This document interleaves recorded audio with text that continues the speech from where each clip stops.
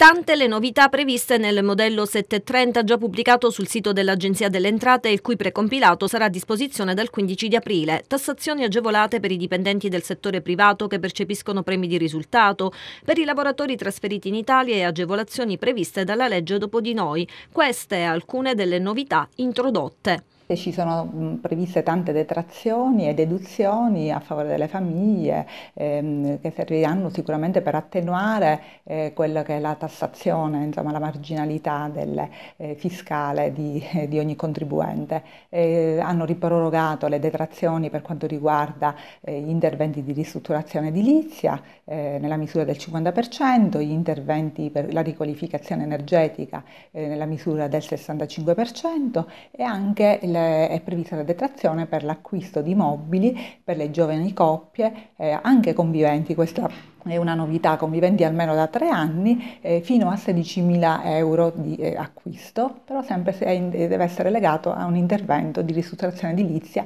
sempre finalizzato in questo caso alla prima casa. Queste eh, detrazioni sono poi eh, ripartibili in 10 anni.